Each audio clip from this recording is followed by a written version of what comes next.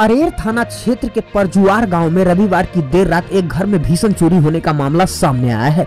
मिली जानकारी के अनुसार परजुआर गाँव निवासी भरत झा के घर में चोरों ने चहार, दीवारी फांद कर प्रवेश किया और कमरे में सो रहे गृह स्वामी और परिवार के सदस्यों को बाहर से गेट का कुंडी लगाकर चोरी की घटना को अंजाम दिया है।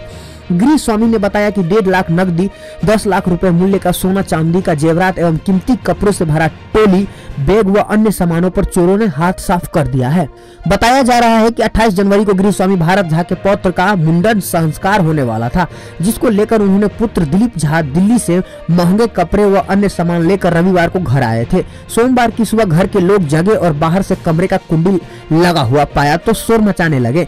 शोर मचाने पर पड़ोसियों ने पहुंचकर कुंडी खोला तो देखा घर में रखा सामान बिखरा पड़ा है। गृह स्वामी श्री झा ने बताया कि सोमवार की सुबह करीब छह बजे ही अरेर थाना पुलिस को घटना की सूचना दी गई, लेकिन सुबह दस बजे तक पुलिस घटनास्थल पर नहीं पहुँच सकी थी। चोरी की घटना को तकरीबन पंद्रह लाख रुपए से अधिक मूल्य के सामानों की चोरी होने की बात गृह स्वामी ने कही है। इस बाबत अरेर के प्रभारी S H O Amarendra Singh ने बताया की जाँच की जा रही है।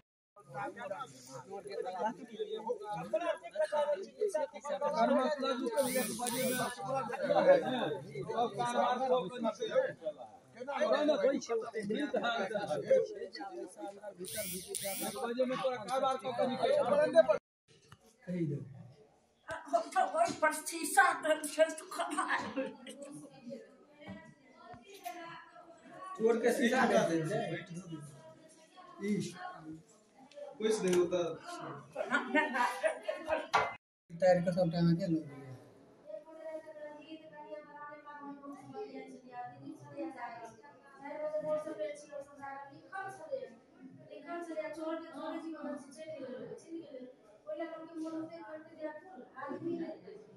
आदमी वापस नहीं चीज़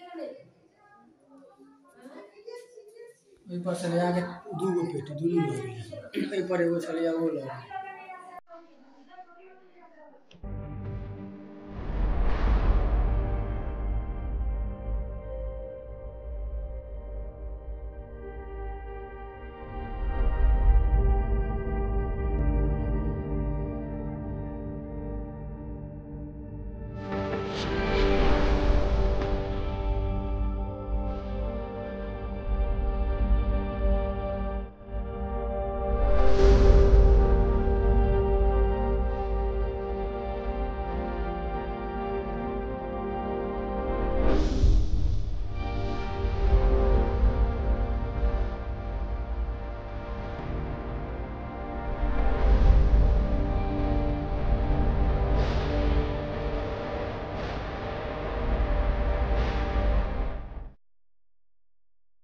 ज़िंदगी की भागदौड़ भरे सफ़र में हमें चाहिए एक नई ताजगी। अब सफ़र चाहे कोई भी हो, हर सफ़र में मिलेगी नई ताजगी का एहसास।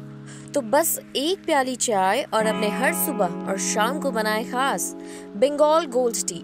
चाय एक अनोखा मिश्रण, कड़कपन और भरपूर ताजगी का एहसास, बंगाल गोल्ड टी।